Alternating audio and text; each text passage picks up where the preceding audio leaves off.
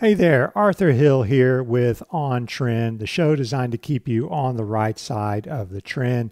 And the first trend we're going to focus on is the S&P 500 and the key levels to watch. QQQ led an oversold bounce yesterday. We'll look at that in detail. We're going to break down XLK and XLC as well as home builders and look at some banking stocks. So we're going to start off with a chart of the S&P 500. These are weekly bars going back 5 years for a longer term perspective. We also have 14-week RSI and I added a 4-week moving average just to smooth out some of the squiggles in that RSI line and we'll get to that in detail. But when we look at the chart for the S&P 500, you can see it moved above 2800 there in January 2018, moved above 2900 in September 2018 and October there. And then here in March, February, March, we moved just above 2,800. So if you look at the period since January 2018, the index has gone nowhere. And we can click the inspect button at the top of the chart, and then you can drag a slider there. So I'll click and I'll drag to the right. And if you look over to the left hand side of the chart, you can see 59 periods. So it's one more week because I did this chart on Friday and now we've got Monday's trading here. Now, it isn't unusual for the index to go nowhere for extended periods. You know, keep in mind we had an amazing advance from early 2016 until early 2018. And prior to that, we had a 90 week consolidation, you know, depending on where you started. But, you know, this is well over a year of going sideways. And the range, you know, was roughly 1800 to 2100. So it's like a 15% range roughly. Now we're in a big range now, and you can see these three highs here. That's what the bears will be pointing to. And what we've been given here with Monday's bounce is a first support level to watch there. And if we break below last week's low, then that is going to be a negative on a weekly closing basis below last week's low. That's going to be a negative. Now for RSI, all I've got here is 14 week RSI, and you can see a lower high there in September, October, and below 70. So that's a bearish failure swing. You move down, then you have a bounce, and the bounce does not get back above 70. The prior move was above 70. This move is below 70, and then you break below that prior low. So that completes the bearish failure swing. Now, since then, we've moved back above 50 in the early part of this year, and we're holding above 50. But that's the next level to watch as far as weekly RSI is concerned and the four week moving average. So if RSI closes, the end of the week is on Friday. We're just on Monday. We got a little uptick yesterday because we started the week, but this is an unfinished RSI value. It won't be finished until Friday. But if we close below 50 in RSI, and if uh, that four week moving average goes below 50, that's going to be a negative for the market. So that's two things to watch here. We have this support level from this low, 200 day just happens, or the 40 week just happens to be there, and 14 week RSI. So I'll remain on the side of the bulls as long as these two things hold. Here's the daily chart for the S&P 500 and I've gone over the importance of the 200 day and the importance of smoothing out your signals by using another moving average instead of just the close. Because as you can see here, we had a number of closes above and below that 200 day in October, November. And here we've already done it. We've closed above, we've closed below, and now we've closed back above. So that's why I think you need to smooth it out.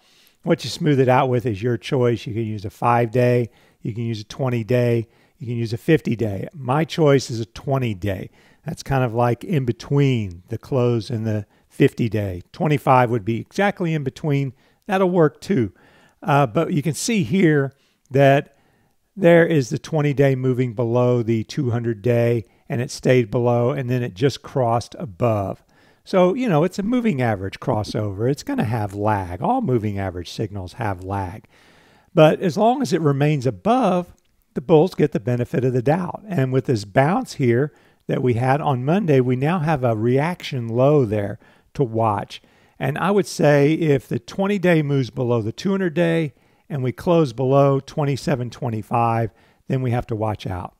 All right. At best, we have a correction of the prior advance, maybe a 50% retracement, 38% retracement. At worst, you know, we move into, we stay in that trading range or we move down to these lows. I don't know. Uh, but as long as we hold those levels, I'll stay with the bulls.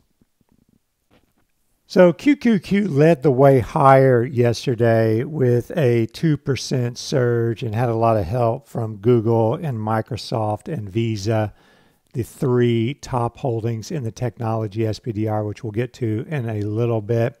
Now, if we look at SPY here, last week I showed some potential correction targets, and sure enough, as soon as you show show those, the market bounces.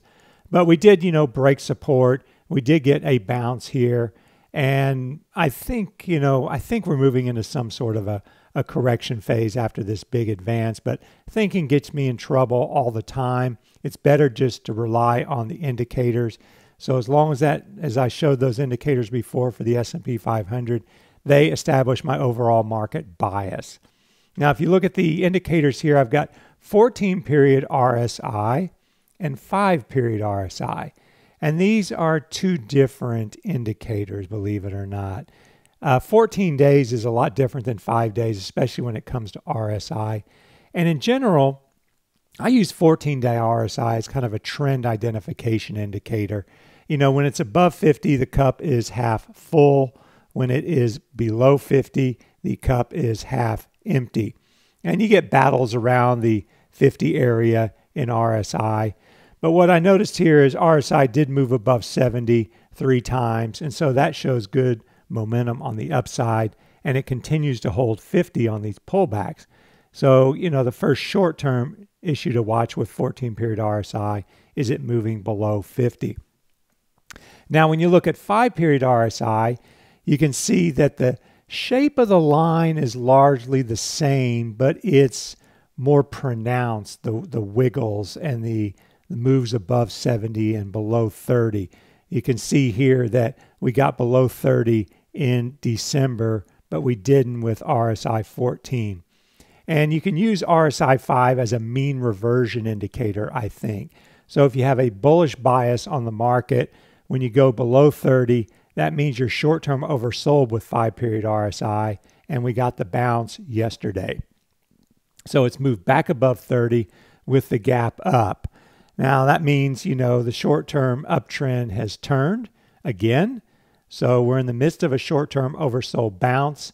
Uh, but when I look at the overall market picture, it's more mixed than up. So, you know, might get just choppy trading out of this. Now, with QQQ, we had a meeting lines candlestick form on Thursday and Friday.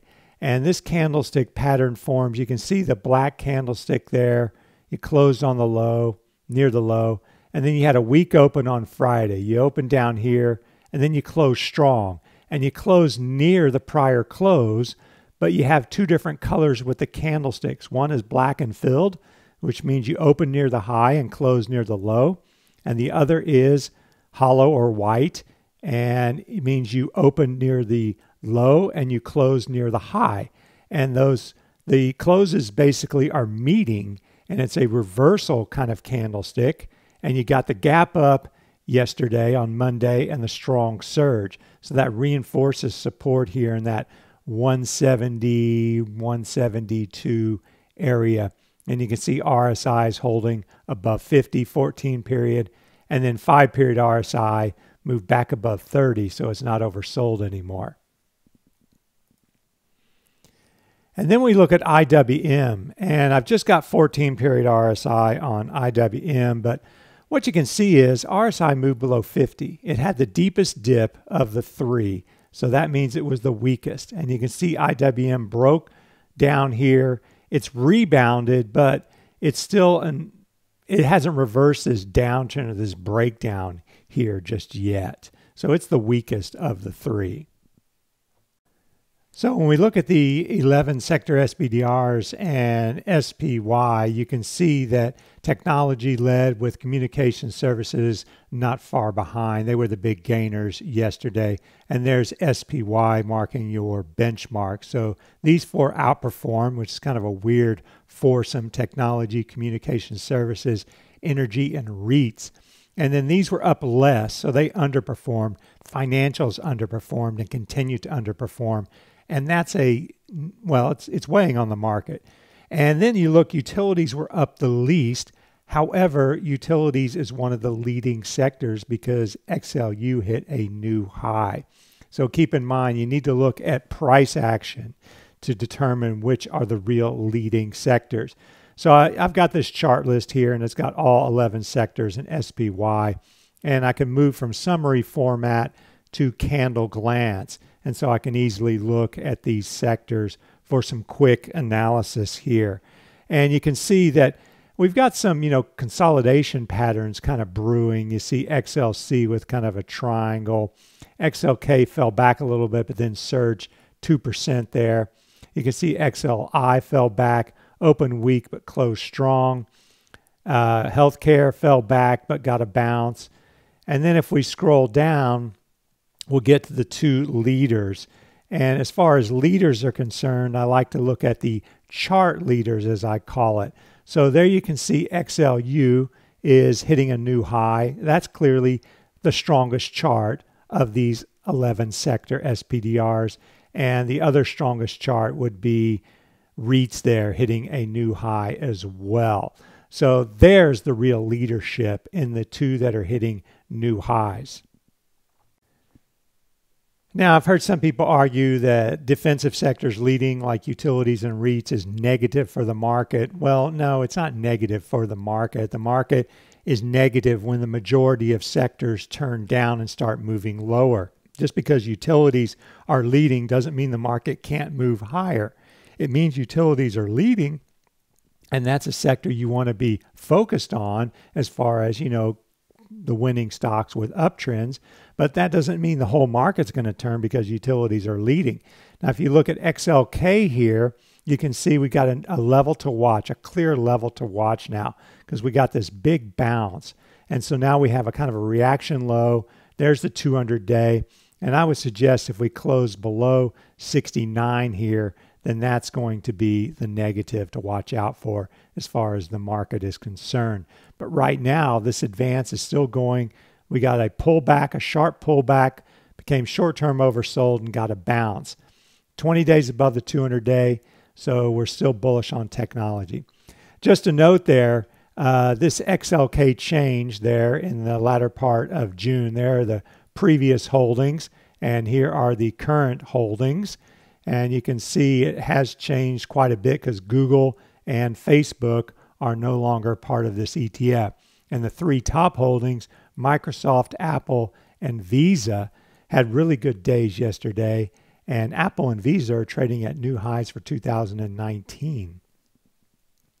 Also, another thing about these sectors, they're really not indicative of the overall sector because if you look at the top two stocks, they account for 33% or 34% of the ETF. I mean, come on, two stocks accounting for the weight of a sector. That doesn't make sense.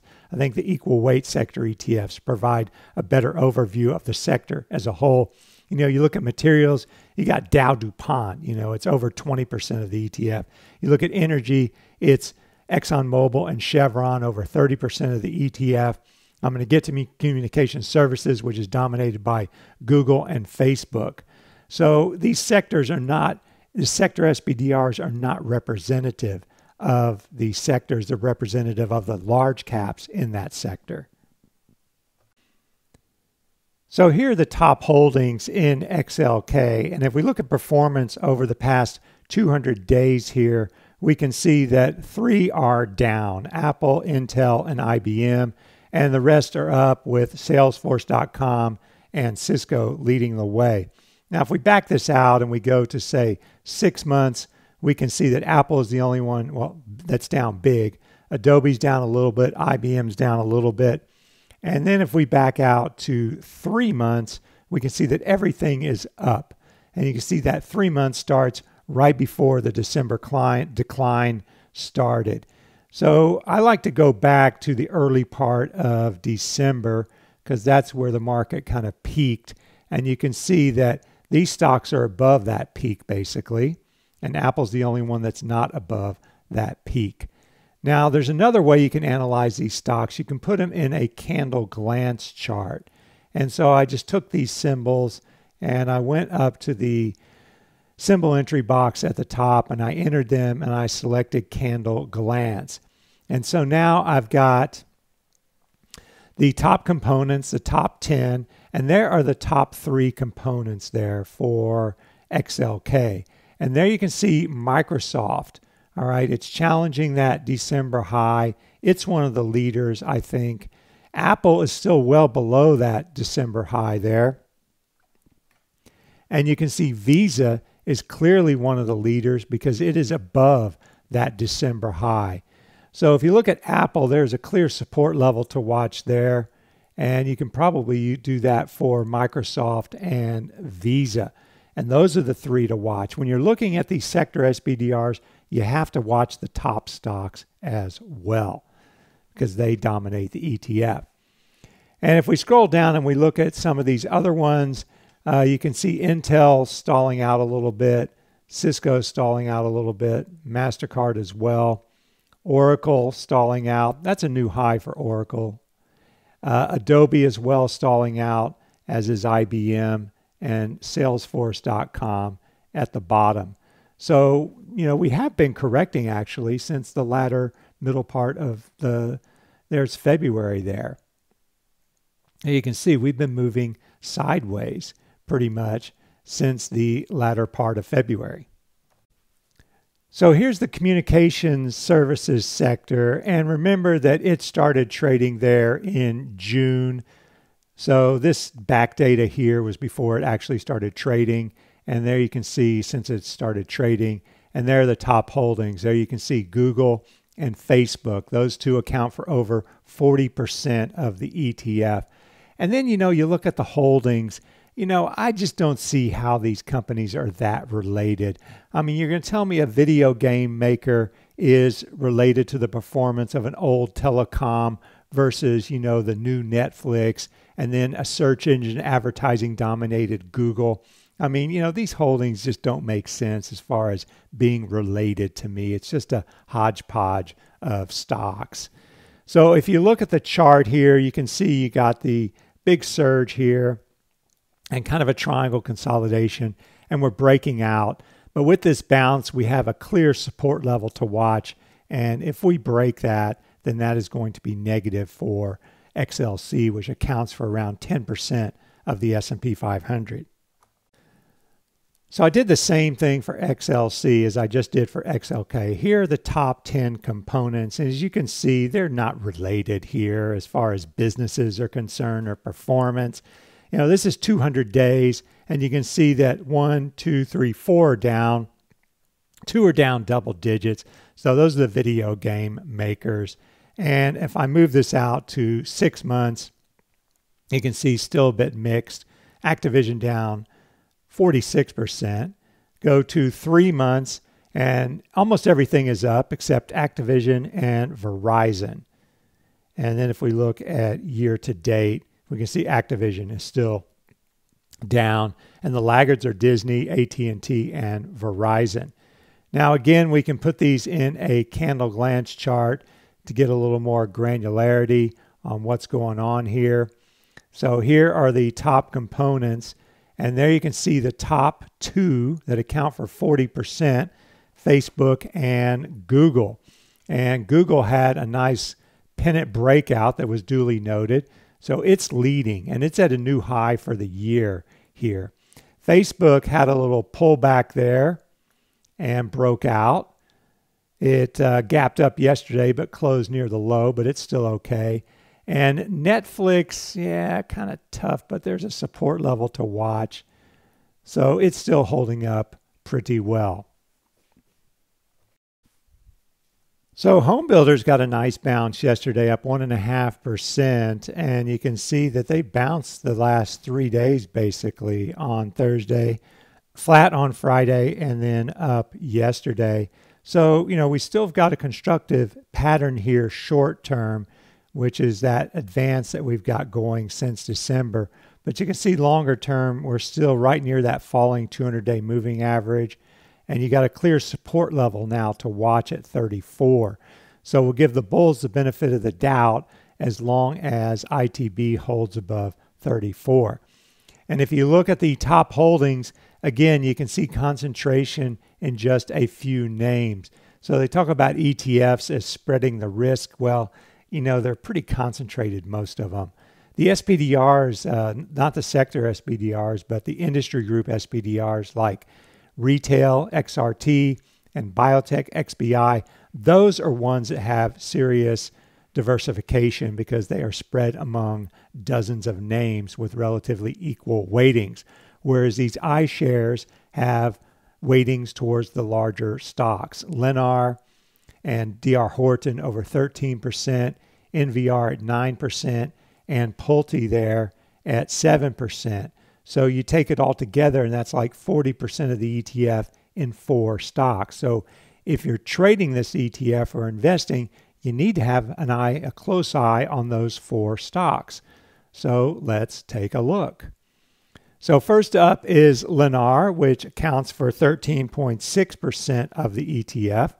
And we've still got constructive price action, a breakout here, and we continue to make higher highs.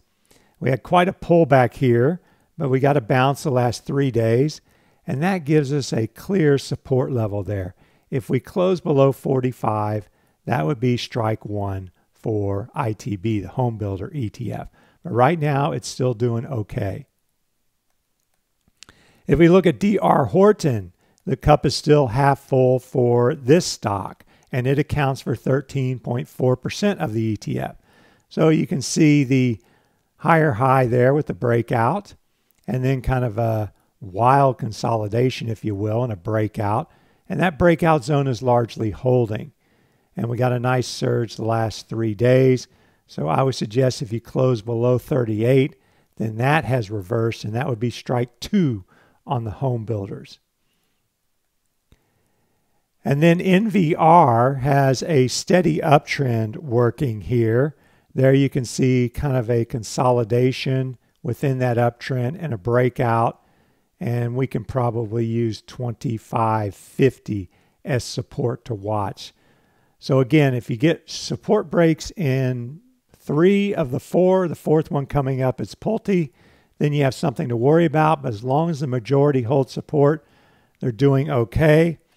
Pulte was on the Art's Charts chart list, but I got shooken out because of relative weakness in February. S&P was moving higher and Pulte was not. But on the price chart, you can still see, you know, you had some breakouts and throwbacks, and it looks like another triangle breakout in the works for Pulte.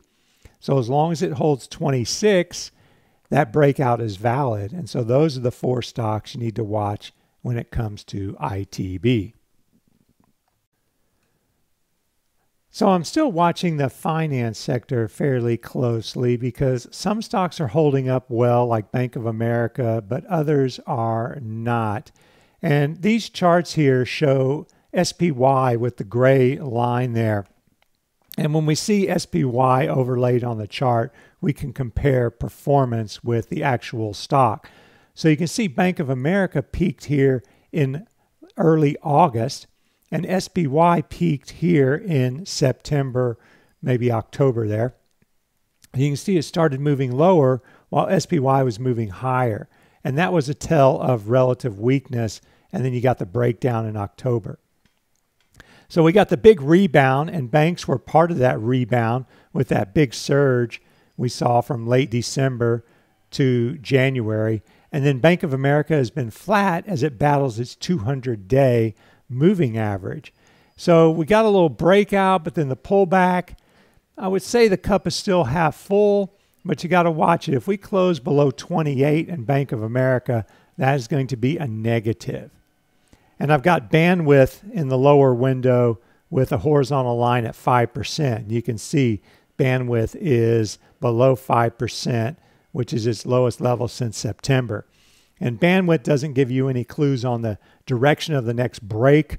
Uh, you have to watch the price for that. So I would stay with a bullish bias, but if you go below 28, you got to switch to bearish. So here's Citigroup. And you can see Citigroup is not as strong as Bank of America. So Citigroup was moving step for step with the market up until September. And you can see that it surged with the market in January. And the market continued higher in February, but Citigroup kind of stalled out. So it's not keeping pace. It's looking weaker than Bank of America. So, you know, if you had to pick between the two, Bank of America would be the winner. And you can see it's below its falling 200 day moving average.